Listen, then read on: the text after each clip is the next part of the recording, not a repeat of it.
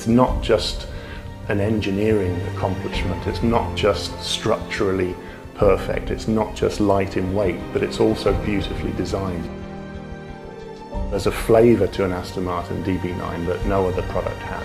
And it is that, that beautiful combination of, and a balance, if you like, of power, of engineering, of performance, of style, um, of something which is incredibly elegant and incredibly good looking. And that simplicity of the original DB cars is still there today in, in, in the DB9.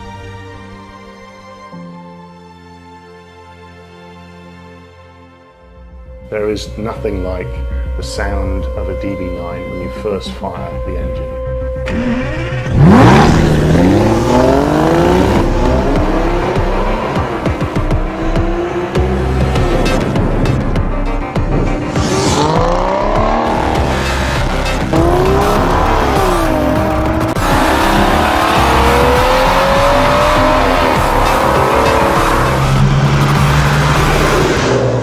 As a designer trying to evoke an emotion of power through body and form and shape.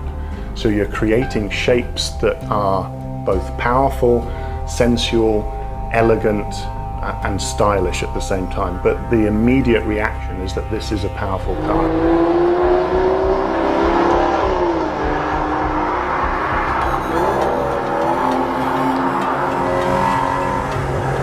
We do with DB9 is we show those muscles straight away and we show that poise straight away. It's unclothed and it's there for everyone to see.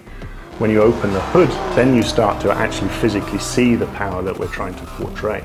But it's the shoulders, it's the proportion that the car has that gives it this power and stance, and that only comes through the purity of proportion.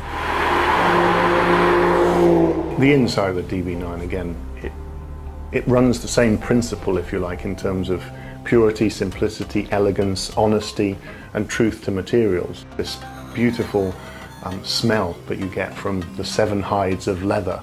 All the switchgear is to hand. You'll find this beautiful flow of surfaces and materials uninterrupted by shape or form in a way, but everything is, is blended together. It truly is a piece of sculpture.